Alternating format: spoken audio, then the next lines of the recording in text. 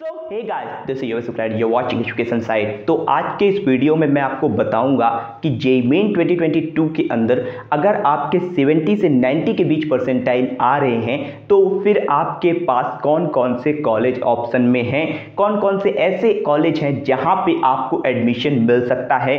मैं आपको बताऊँगा कि कौन कौन सी एन और ट्रिपल आईटी हैं जहाँ पर अगर 70 से 90 के बीच परसेंटाइल है तो आपको एडमिशन मिल जाएगा। अगर आपको एनआईटी या ट्रिपल आई नहीं मिल पा रहा है या फिर वहाँ पे आपको आपके मन की ब्रांच नहीं मिल पा रही है तो फिर आप कौन से जी में एडमिशन ले सकते हो? और अगर जी में नहीं लेना एडमिशन तो फिर आपके पास कौन कौन से स्टेट कॉलेज हैं जहाँ पे आपको एडमिशन मिल जाएगा? तो ये वीडियो बहुत ही ज़्यादा इंपॉर्टेंट है। बहुत सारी बातें हैं इस वीडियो में बताने के लिए। तो ये वीडियो आप स्टार्टिंग से लास्ट तक ज़रूर देखिएगा। अगर 70 से 90 के बीच परसेंटाइल हैं तो ज़रूर लास्ट तक देख देखना, क्योंकि इस वीडियो से आपको एक बेहतर ऑप्शन मिलेगा जिसमें आप एडमिशन ले सकते हो अपने परसेंटाइल पे।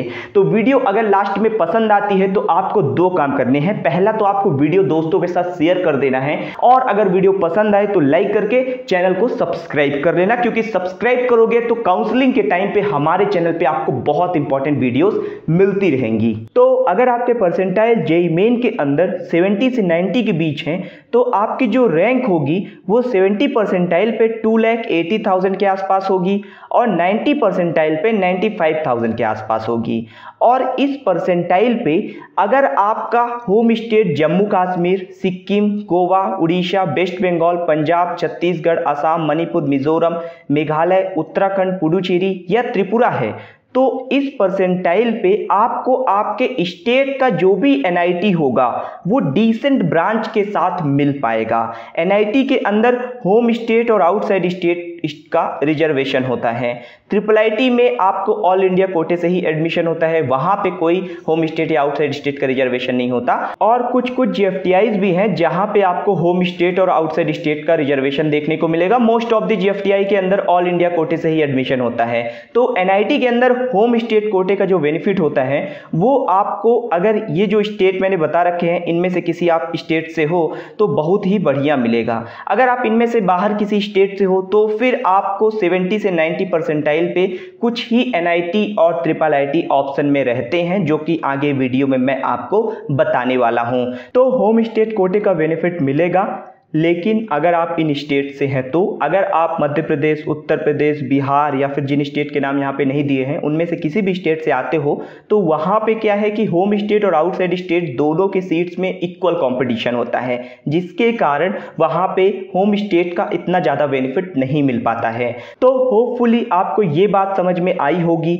अब मैं आपको इस वीडियो के फ़र्स्ट पार्ट के अंदर लेके जाता हूँ, यानी कौन कौन से एनआईटी और ट्रिपल आईटी आपके पास ऑप्शन में है। तो यहाँ पे मैंने पहले कॉलेज का नाम लिख रखा है, फिर ब्रांच बताई है, फिर यहाँ पे 2021 की क्लोजिंग आपको देखने को मिलेगी और 2020 की भी क्लोजिंग मैंने दे रखी है। ये जो क्लोजिंग रैंक है, ये CSAB काउंसलिंग के लास्ट राउंड की है। सी काउंसलिंग जो होती है, वो स्पेशल राउंड काउंसलिंग होती है, जोसा के बाद कंडक्ट होती है और इस, ये एक स्पेशल राउंड होता है तो इसमें जो कट ऑफ़ होती है, वो काफ़ी लो चली जाती है। यानी अगर आप एक बेहतर कॉलेज में एडमिशन लेना चाहते हो तो आपको अपनी काउंसलिंग CSAB तक करनी चाहिए। ठीक है, उसमें कट ऑफ़ सबसे ज़्यादा लो होते हैं।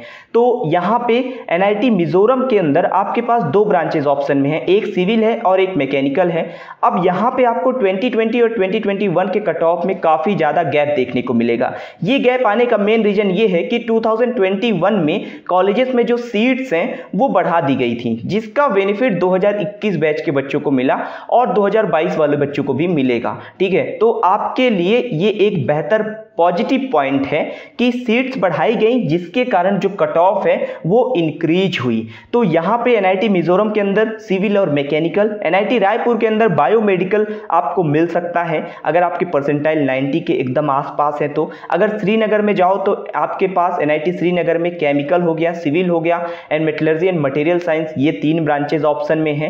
एनआईटी अगरतला के अंदर आपके पास बायोटेक्नोलॉजी एंड प्रोडक्शन ये दो ब्रांचेज ऑप्शन में है। एनआईटी मणिपुर के अंदर अंदर आपको सिविल मिल जाएगा एनआईटी नागालैंड के अंदर आपको सिविल मिल जाएगा, अरुणाचल प्रदेश के अंदर आपको सिविल और मैकेनिकल ये दो ब्रांचेस ऑप्शन में मिलेंगी। अब यहाँ पे जो क्लोजिंग रैंक लिखी हुई है, वो आप देख सकते हैं। अगर आपके परसेंटाइल 90 के आसपास हैं तो आपके पास काफ़ी ऑप्शन है। अब अगर आपके परसेंटाइल 80 के पास हैं तो फिर एनआईटी तो आपको नहीं मिलेगा, ठीक है? तो ये टोटली डिपेंड करेगा कि आपके परसेंटाइल 70 के पास है 80 के पास है कि 90 के पास है। 90 के पास है तो बहुत से एनआईटी जो ऑप्शन अभी मैंने आपको बताया, चाहे वो श्रीनगर हो, अगरतला हो, रायपुर हो, ठीक है, मिजोरम हो, मणिपुर हो तो वो ऑप्शन में बनेंगे आपके पास, ठीक है? इसके बाद अगर हम बात करें ट्रिपल आईटी की तो ट्रिपल आई में ट्रिपल आईटी मणिपुर में आपको ईसी भागलपुर के अंदर मैकेट्रॉनिक्स करनूल के अंदर mechanical specialisation in manufacturing and Jabalpur के अंदर स्मार्ट मैन्युफैक्चरिंग तो ये चार ऑप्शन ही आपके पास ट्रिपल आईटी में हैं,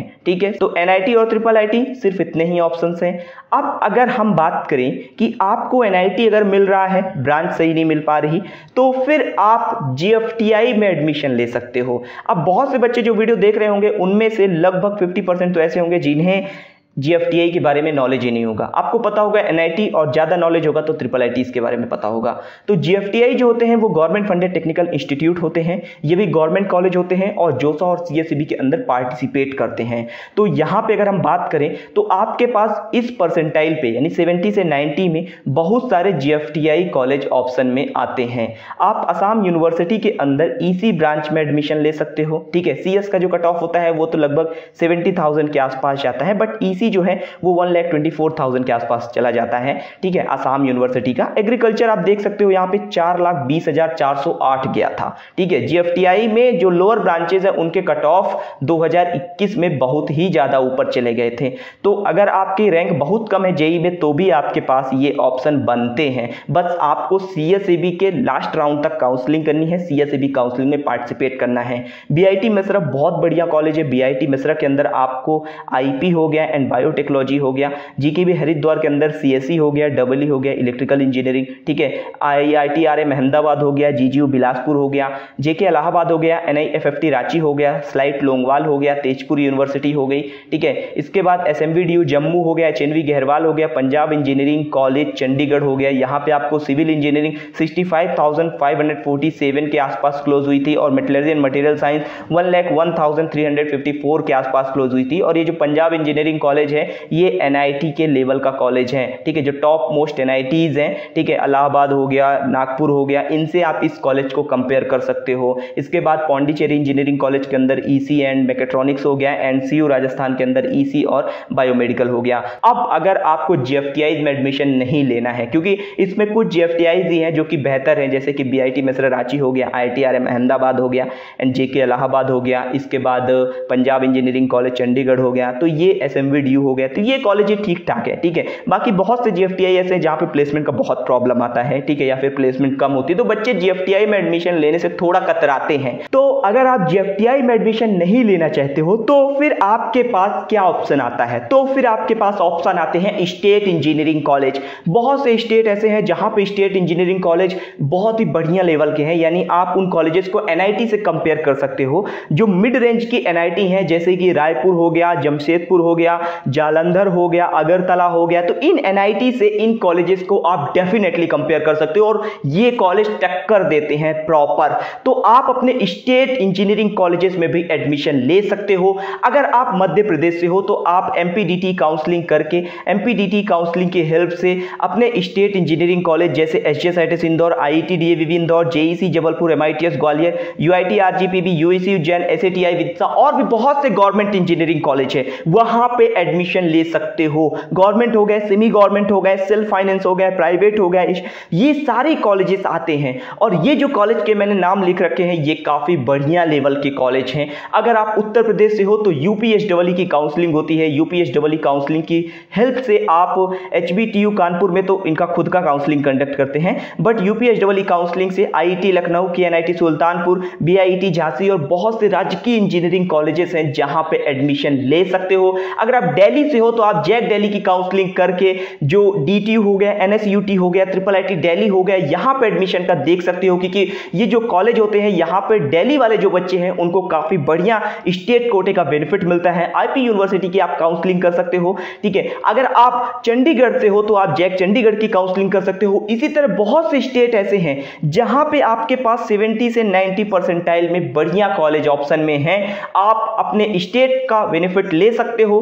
अगर आप स्टेट कोटे से काउंसलिंग करोगे तो आपको बढ़िया कॉलेज मिल जाएगा। तो ये जो कॉलेज मैं आपको बता रहा हूँ, स्टेट कोटे से like H S I T S D A V V J C M I T S H B T U I I T K N I T JAC Delhi के अंदर जो कॉलेज आते हैं Jack Chandigarh के अंदर जो college आते हैं, ये कॉलेज एन आई टी के लेवल के कॉलेज हैं। इनकी अगर आप प्लेसमेंट देखोगे, इनका कैंपस लाइफ देखोगे तो वो आपको एन आई टी के लेवल का मिलेगा। ठीक है? प्लेसमेंट बहुत ही बढ़िया इन कॉलेजेस की।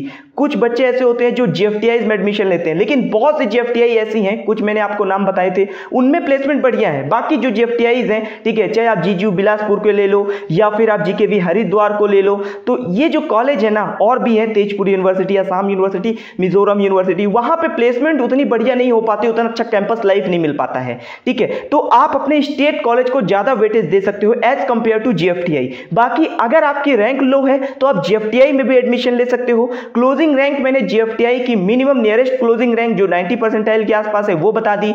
और हाईएस्ट क्लोजिंग रैंक बता दी, जो कि चार लाख के पास भी है, साढ़े चार लाख के आसपास भी क्लोजिंग हुई है जीएफटीआई के अंदर, ठीक है? तो आपको एडमिशन इजीली मिल जाएगा। बाकी एनआईटी और ट्रिपल आईटी के अंदर 70 से 90 परसेंटाइल में आपके पास कुछ ही ऑप्शन है, जो कि मैंने आपको बता दिए अगर आपका स्टेट लग रहा है, जो स्टेट मैंने आपको स्टार्टिंग में बताए थे, इनमें से किसी भी स्टेट से हो आप तो फिर आपकी वारे न्यारे है। आपको आपके स्टेट का एनआईटी एक डिसेंट ब्रांच के साथ मिल जाएगा। तो वीडियो अगर आपको पसंद आई हो तो वीडियो को लाइक ज़रूर करिएगा, दोस्तों के साथ शेयर करिएगा एंड चैनल पर नहीं हो तो प्लीज़ मेक श्योर कि सब्सक्राइब कर लें क्योंकि हमारे चैनल पर आपको पूरी इंफॉर्मेशन आपके काउंसलिंग से रिलेटेड और जेई से रिलेटेड मिलती रहती है। तो सब्सक्राइब ज़रूर कर लेना। मिलता हूँ दूसरे वीडियो पर। तब तक के लिए चलता हूँ। दीजिए इजाज़त मुझे। जय हिंद।